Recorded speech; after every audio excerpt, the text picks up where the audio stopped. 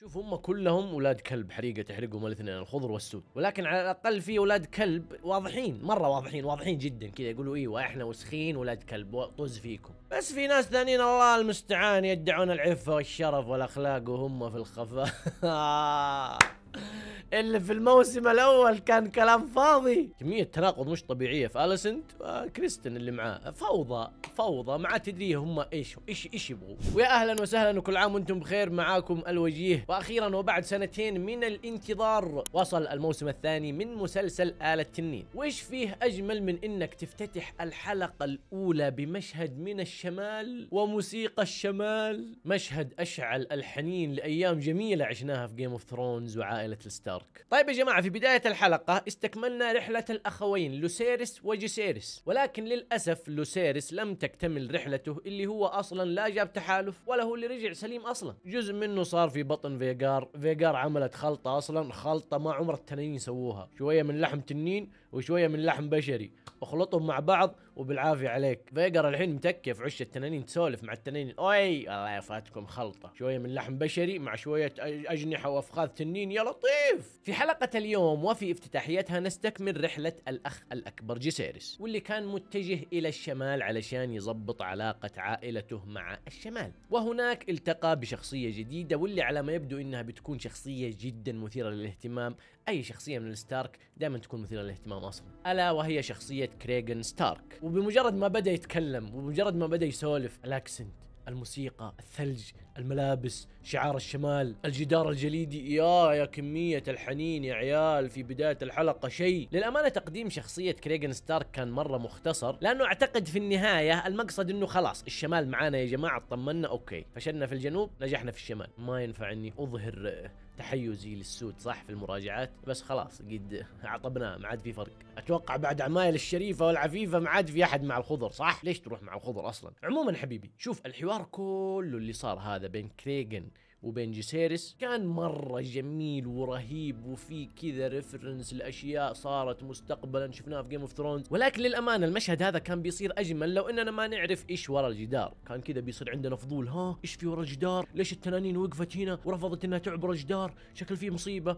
بس خلاص محروق علينا لأنه إيش نعرف Game of Thrones فأعتقد هذا واحد من الأسباب اللي خلت المشهد قصير مجرد إنه أوه يلا يا جماعة شوفوا خذوا لكم شوية جرعة حنين. المشهد هذا كذا كأنه هدية تذكارية لمتابعين مسلسل Game of Thrones زمان. وكمان كان تقديم لشخصية كريغن ستارك خلاصة الكلام يا جماعة عشان ما نطول في الجزئية الأولى هذه. جيسيرس بدعم من كريغن ستارك قدر إنه يرجع لامه رينيرا وهو معاه جيش. ما جاءوا معاه ولكن خلاص ضمنهم. كريغن قال له زهلني أنا من عندي لك 2000 رجال. صح إنهم كبار في السن شوية بس ترى مدقدقين. في الحرب يشيلوا الليلة. وغير كذا ستارك يا ولد نظبط المظبيط نجيب لك الناس من الشمال مدقدقين معلمين. فلذلك رحلة جيسيرس للشمال نقدر نقول عنها تمت بنجاح. على عكس لوسيريس. بعد كذا يا جماعة نروح عند الأمير المارق الساحق الملاحق وحواره الجميل والغريب في نفس الوقت مع الأميرة رينيس. أطلع على ظهر تنينك قوم يلا خلينا ناخذ فرة على كينجز لاندنج أقول لك حرك. انت كيف انت أقول لك توني جاية تعبانة ومبهدلة تنيني جيعان وأنا جيعانة وتعبانة. هناك قال لك فرة على كينجز لاندنج لعبوا.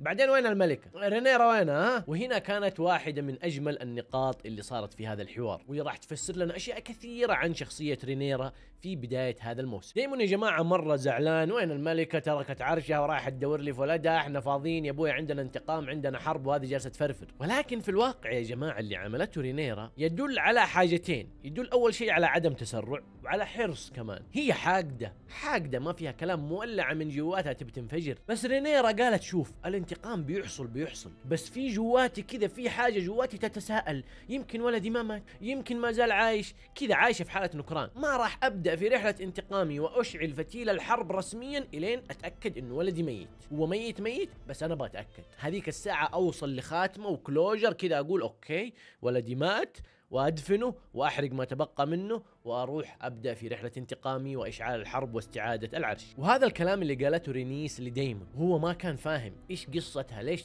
قاعدة تطير في الجو جالسة تدور جثة ولدها إيش الفكرة؟ ولدها ميت خلاص. قالت له رينيس قالت له أنا بنتي لما ماتت جلست في حالة نكران. ما صدقت إنها ميتة إلين رحت شفتها بنفسي. وبعدين ديمون لعله فهم الكلام وقال أوكي أوكي كذا نظامكم النسوان أوكي أوكي. حتى لما رينيرا رجعت وقابلت ديمون أعطاها الابتسامة ذيك قال لها خلاص شفت اللي كنت تبغي تشوفيه؟ أخذت ال closure اللي تبغيه نقدر نبدأ تبدأ الحرب الآن. ما جلست دقائق يا رجل على على طاولة الاجتماع لو قالت جيبوا لي رأس إيموند. خلاص الحرب اشتعلت خلاص. ولدي شفت جثته بدفنها وبحرق ما تبقى منها وايا كان اللي لقيته هناك. أتوقع بس ملابسه ولكن تيقنت إنه ميت. الآن نقدر نبدأ في رحلة الانتقام وإشعال الحرب واستعادة العرش المغتصب. بعدين يا ولد ديمون أعطاها ابتسامة لئيمة كذا. أوكي أوكي كذا نظامك. يا أخي لو قلتي لي من زمان كان أخذت تنيني ورحت أدور معاكي. والله ما ما كنت أدري. والله والله ما كنت أدري. أنا آسف يعني بس خلاص أعطاها الابتسامة ذيك أوكي. لئيم لئيم. ديمون شخصية غريبة صراحة وصفها الكاتب بأنها من أكثر الشخصيات رمادية. صعب جدا تعرف إيش يبغى وإيش أهدافه. كل شوية كذا تلاقيه بوجه. وأعتقد هذا واحد من الأسباب اللي مخليه ديمون الشخصية المفضلة عند كثير من الجمهور. طيب يا جماعة علشان برضو ما نظلم رينيرا كأداء للدور طبعا مشاهدها وهي تدور على ولدها ما في كلام ما كانت تتكلم بس الملامح لغة الجسد يا لطيف قدرت إنها توصل لي مشاعر الأم وفقدان الابن بشكل يا لطيف. الألم النفسي اللي جالسة تمر فيه رينيرا مش طبيعي. رينيرا جالسة تهيم في السماء بس علشان تدور closure. تبغى تتأكد انه ولدها ميت. في صوت داخلها يقول لا معليش اتأكدي يمكن ما مات يمكن طاح في البحر يمكن نجا. للأمانة بالرغم من قلة المشاهد تبع رينيرا في هذه الحلقة إلا إنه ادائها كان خرافي. خرافي خرافي ورائع. بعد كذا يا جماعة نروح لمشهد اللورد كورلس بجوار ما تبقى من سفينته. سفينته ما فيها خلاف يعني بس إنها مدقدقة حالتها حالة غير قابلة للإبحار. ولكن اللي يهمنا في هذا المشهد يا جماعة إنه الشخص اللي أنقذ لورد كورلس هنا هو هذا الشخص. كورلس لما أصيب وسقط من البحر زمان في ذيك المعركة في معركة الأعتاب الشخص هذا طب للبحر وأنقذه. فلذلك هم سلطوا الضوء على هذا الشخص لأنه ممكن إيش يظهر مستقبلا ويكون له دور. وكذلك برضو يهمنا في هذا المشهد الخنجر. الخنجر اللي كان المفروض يروح لمين؟ للوسيرس لوسيرس الخنجر هذا طلب اللورد كورلس إنه يتم صناعته علشان يتم إهداؤه لوريثه لوسيرس. بس وين لوسيرس؟ في بطن فيجار. الله أكبر عليك يا فيجار. بس للأمانة ردة فعل اللورد كورلس كانت يعني واضح انه واضح إنه مرة متأثر. يعني وريث هو كان مرة مهتم لموضوع الوراثة ومن الذي سوف يرثه. ففجأة كل ده تبخر وما معاه الا الخنجر ذا. الله المستعان. فأتوقع الهدف من هذا المشهد هو إيش؟ شوية refresh يعني يذكرونا ببعض الأحداث اللي إحنا ناسينها بعد كذا نرجع لكينجز لاندنج مقر العرش الحديدي والحزب الأخضر. وهنا يا جماعة نشوف استعدادات الخضر وحرصهم الشديد جدا. فكرة إنهم اغتصبوا العرش هذه جزئية. ولكن فكرة إنهم قتلوا لوسيرس هذه صارت مشكلة أكبر وأكبر. يعني اغتصبتوا العرش وكمان قتلتوا ولد رينيرا؟ أحي. لو إنه لوسيرس ما مات يعني كان فكرة أو فرصة الهدنة وعدم اشتعال حرب كانت بتكون واردة. بس الحين خلاص. الحرب قائمة قائمة لا محالة. فالخضر عارفين إنهم جابوا أم العيد. علشان كذا مجهزين يا ولد الأسوار ومجهزين كينج لاندنج بحراسات 24 ساعة. بل إنهم حاطين مضادات تنانين. افتكرت مضادات التنانين اللي في Game of Thrones وكيف انتهى بها المطاف؟ الله المستعان طيب يا جماعة أنا عندي سؤال واحد بس. ولاد ماني بقايل الخضر هذولي. معاهم المسكينة هذه هيلينا ليه؟ أنا عارف بنتهم من دمهم ولحمهم بس يا ولد مي لايق عليهم؟ مرة مي لايق عليهم؟ مسكينة؟ عائلة وحزب كل واحد أحقر وأدنى من الثاني. يعني شوي اللي نقدر نقول عنهم لا كويسين آه، هاي تاور صح إنه لئيم وكذا بس سياسي. قاعد يقدم شغله. اللي بقول لكم البنت هذه هيلينا مرة شكلها غلط مرة مو لايقه عليهم. ما حد قادر يفهمها ما حد قادر يستوعبها. واضح البنت على نياتها ومي داريه وين الله حاطها. وفوق هذا كله البنت حالمة. يعني لو أحد فهمها وجلس معاها وسولف معاها بشكل كويس بيعرف إنها قادرة تتنبأ بالمستقبل. يقلع أم القوة الرهيبة ذي. حذرتهم من إنه عين إيموند بتنفقع ولا عبروها. ورجعت انفقعت. حذرتهم إنه في وحش متخبئ في الأسفل ولا عبروها. وخرجت عليهم الأميرة رينيس من تحت أو من الأسفل وشقت أبوهم شق. والحين جالسة تحذرهم. أنا خايفة من الفئران. إيش اللي مخوفك من الفئران؟ لو بس سألوها إيش فيها الفئران حبيبتي؟ عسى مشر حكينا مدري إيش. عندنا تنانين. قالت لهم يا أبويا خلي التنانين تسري. الفئران هذه مصيبة. ولا حد عبرها. الله الله أما أنت يا أخي رهيب مميز البت هذه سواليف رهيبة. يلا سلام. وفي نهاية الحلقة شفنا الفئران جو بالفعل و سروا على ولده. بنرجع لموضوع الفئران وصائد الفئران وقص ورمزية الفئران هذه. أنا ودي أتكلم عن أليسنت والحمار حقه في هذاك المشهد. إيش فيه؟ ما ما راح أقدر أتكلم عن أليسنت وكريستون لأنه مشاهدهم مع بعض كلها يعني إيش؟ قلة أدب دائما لازم قلة أدب. الظاهر إنه ما عاد بيظهروا مع بعض إلا في مشهد مخل الاداب العفيفة. الشريفة. اللي كانت تقول لرينيرا اياك وقلة الأدب كله إلا الشرف. إيش وين الشرف؟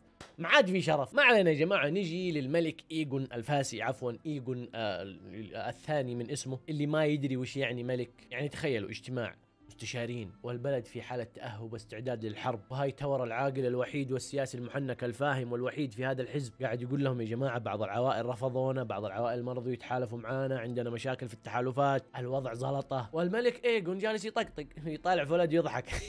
أعطيه إيه خذ الكورة. أفقع عينه فيه أقول لك مو عاجبك ولدي صح؟ اجلس على ركبتك ويديك اطلع فوق انت ويلا العبوا لعبة الحصان. يا أبو إيش الملك التعبان هذا؟ ارحمني. تكبر وبلاهته وتسلطه للأمانة. ذكرني شوية بجوفري مع إنه جوفري مرة مطحس. يعني على الأقل جوفري كان عنده كذا شخصية شوية. يعني إذا إذا إذا طلب شيء يسويه. هذا لا يقول حاجة يجي أحد يهوش له يقول آه okay خلاص بلاش. خلاصة الكلام يا جماعة في الاجتماع هذا المجلس عرفوا إنهم متلحفين مع رينيرا. ما فيش مفر. لو إنه ولدها ما مات ممكن ها ممكن. ولكن أحد المستشارين قال والله الحرب قائمة قائمة. التنانين إيش ترقص التنانين ترقص ما فيها كلام. التنانين حالفين إنهم راح يرقصوا. وخلينا فرضا فرضا كذا فرضا نقول إنه انتقام رينيرا حصل. راحت وانتقمت سواء من إيموند أو من اللي صار في نهاية الحلقة. هل راح تنتهي الحرب؟ لا حتشتعل أكثر وأكثر. يعني إيش؟ الحرب قائمة قائمة يا جماعة ما فيش مفر. أوتو هاي تاور طبعا كان عنده خطة الهجوم المباغت ولكن بعد موت ولد رينيرا صارت ما عاد فيه عاد في هجوم مباغت. صاروا مستعدين الحين. الله ينكبك يا ايموند رينيرا الآن مستعدة للهجوم والدفاع ومحاصرتهم أصلا. طبعا اليسنت وجودها وعدمها واحد في المجلس هذاك. حتى هي لاحظت وقالت يا بابا أنت كيف مذلبني في المجلس هذا يا بابا؟ آه وين هيبتي؟ الله يرحمك يا فيسيرس. ما كنت عاملني زي كذا. آه مسكينة والله مسكينة يعني. أستغفر الله العظيم. ما, أدري الواحد إيش يقول عنها يعني ضايعة ضايعة. تحاول تصلح الوضع عشان صديقتها ولا تحاول تنهي الحرب عشان عيالها يظلوا بخير. هي إيش تسوي؟ متورطة. غير إنها موسوسه وتطالع في العاملات هم يغسلوها. إيه والله ما أدري واحدة منهم بتسممني. برا اطلع اطلع برا اطلع. برا انظف نفسي بنفسي مع السلامة. خلاص الكلام يا جماعة المجلس هذا مجلس الملك ايجون فيه تخبط وحالة وعدم وضوح. ولولا وجود أوتو هاي تاور المحنك الوحيد والسياسي الفاهم في هذا المجلس أقسم بالله العظيم الخضر دولي بيروحوا في 60 داهية. مو محافظ على تماسك المجلس إلا أوتو هاي تاور. بعد كذا نجي للأعور. عبده ترنتينو فهمها من فهم وجاي من الله واللي على ما يبدو إنه جالس يخطط لشيء قذر من جديد. يعني تخيلوا قتل أبوه وأخوه وحرق أبو قلعتهم وعلى ما يبدو إنه الآن جالس يحاول يتخلص من أوتو هاي تاور. وإذا أنا فاهم كويس فأعتقد إنه الأعرج لمح لإيجون كذا قال له أي جدك هذا الشايب يا رجال ما من أمه فايدة. أعطيني منصب ها منصب مساعد الملك وشوت أوتو هاي تاور ويزهلني اضبط لك المظابيط. ويبدو إنه إيجون عجبه الكلام وممكن ممكن مستقبلا نشوف الأعرج مساعد للملك. وهاتك يا فوضى فوق فوضى لو صار الأعرج مساعد الملك. إذا أوتو هاي تاور يا جماعة شوفوني أقولها لكم وبكررها. إذا أوتو هاي تاور طلع من الصورة وما عاد صار عنده قرار داخل المجلس هذا أقسم بالله ما أدري وش في من داهية تنتظر هذول الخضر. يعني تخيلوا في مشهد ثاني الملك يستقبل شعبه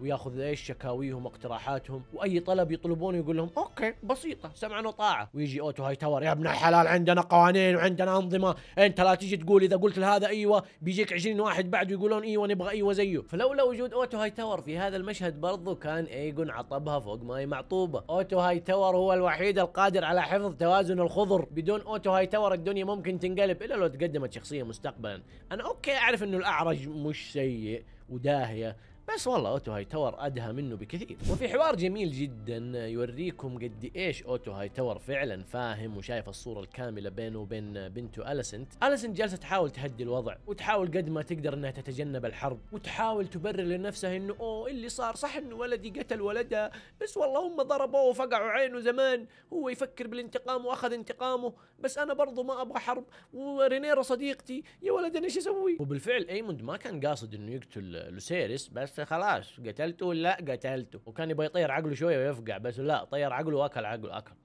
بالعافية. لا مش بالعافية. فأليسن جالسة تحاول تقنع نفسها إنه اللي حصل يعني الله المستعان أمر حتمي يعني. إيش نسوي؟ هو انتقم لنفسه بس خلاص إحنا مش بالضرورة أن ندخل في حرب. ولكن أوتو هاي تاور شايف الصورة كاملة وقال لها هي تسوقي امها أنت. لا حل هنا سوى العنف والحرب. ما فيها كلام. الحرب قائمة قائمة. لا تشغلي مخي ولا أشغل مخي نيجي للدودة البيضاء معشوقه ديمون السابقة والمخبرة العصفورة اللي كانت تترزق من القيل والقال في الريد كيب بعد ما حرقوا مقرها وبعد ما سروا عليها هي والجواسيس اللي معاها شردت واتجهت إلى الأمير دايمون. مسكها دايمون وحاول إيش إنه يستخرج منها معلومات يا خاينة يا معفنة يا مدري إيش من ذا الكلام. قالت له هي يا أبوي اسمع ترى كل اللي كنت أسويه لقمة عيش. والله لا أوتو هاي تاور يعني لي شيء ولا الخضر يعنوا لي شيء. كنت أعطيهم معلومات يعطوني فلوس. business is business لا أكثر ولا أقل. وأنا الآن هنا ما عند أمي أي شغلة. حاول دايمون يمين يسار يجيب أخبار منها معلومات ما هي راضية. قال يا ولد okay. وقرر دايمون إنه يعطيها سبب علشان تقدر تتفاوض. تبدأ تتفاوض. هي الحين حرة طليقة. إيه، ليش بتعطيني معلومات؟ شالها وداها السجن. قال لها اسمعي تبي تخرجي من السجن؟ هيا هاتي معلومات. بلا وصارت تعطيه معلومات وعرف منها مين الشخص اللي ممكن يقدر يفيده داخل القصر عند عند الخضر بحيث يقدر يتسلل وينتقم ويقتل أيموند. الشخص هذا يا جماعة هو صائد الفئران. ظهر في بداية الحلقة ترى هو معاه إيش؟ مصيدة فئران والكلب الصغير اللي يصطدوا الفئران وظيفة إنه يدخل القصر يصيد الفئران من من القصر أو من حتى الممرات السرية اللي ما حد يعرفها كثير اللي يقدروا يدخلوا لها من برا وفجأة ترسبنك كذا في مكان معين داخل القصر أو في أي غرفة أنت تبغاها. ويفترض إنه الممرات السرية هذه ما يعرفوها كثير. هيا صائد الفئران هذا يا جماعة هو اللي هيلينا كانت تحذر منه. قالت للملك ايجون أنا خايفة. قالت خافي من إيش؟ تنانين عندنا تنانين. قالت يا ابن الحال مش تنانين فئران.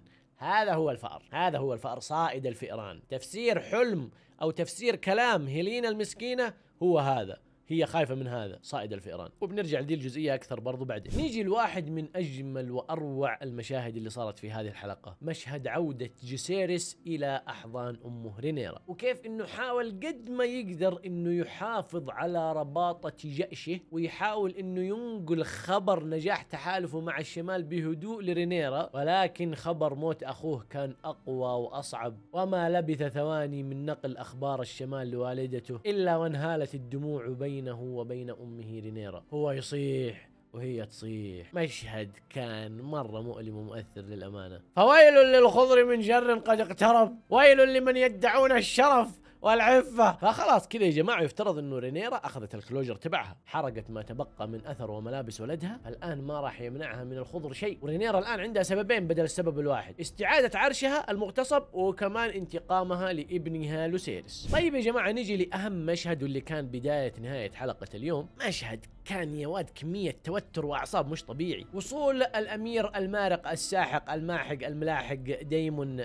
إلى الريد كيب. وبمجرد ما خشخش بالدنانير لأحد الحراس الحارس شافه قال ول ديمون ارحب يلا انت حيه ديمون قال له ها معانا ولا مع هاي تاور؟ وقال جملته الشهيرة بصوته المميز الحارس والله صوته مرة مميز ها تحسه كذا يصلح villain يصلح مؤدي صوت لشخصية villain. فقال كلمته الشهيرة the هاي تاور. بمعنى إنه إيش؟ أنا معاك يا ديمون. آمر تدلل بس. فديمون قال بس خلاص الخطة بدأت already فالآن الخطة وش تقول يا عزيزي الوجيه؟ صائد الفئران هذا وظيفته إنه فعلا يصطاد فئران داخل القصر. كذا وظيفته يصيد الفئران اللي موجودين داخل القصر. ولكن ممكن نفهم إنه جاسوس. ممكن نفهم إنه جاسوس. آدم يقدر يدخل إلى الممرات السرية في القصر ويصطاد الفئران. فمعناته إنه يقدر يسمع أشياء كثيرة يقدر يشوف أشياء كثيرة. فإذا قدرت توظفه بالشكل المضبوط راح تستفيد منه مضبوط. فديمون عرض عليه عرض بسيط. مره مره بسيط. يا ولد أبسط عرض ممكن تشوف حياتك. قال له اسمع بعطيك ذهب روح اقتل أيموند. easy peasy صح؟ خذ صديقي هذا معاك أبو صوت مميز ذا خذه معاك وادخلوا القصر واقتلوا لي أيموند وتعالوا. وخذ الذهب.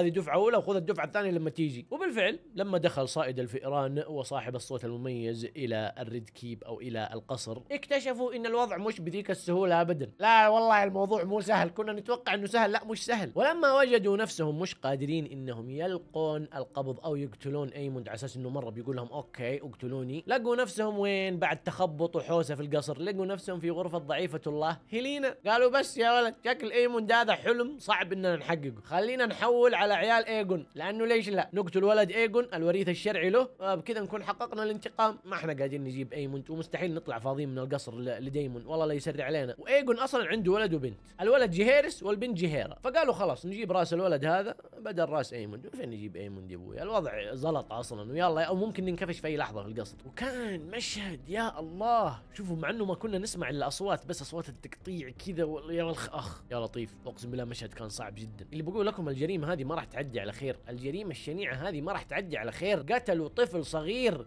في فراشه. يا الله يا الله إيش المشهد؟ إيش هذا؟ أقسم بالله وأنا اتابع الحلقة قاعد أقول يا ولد.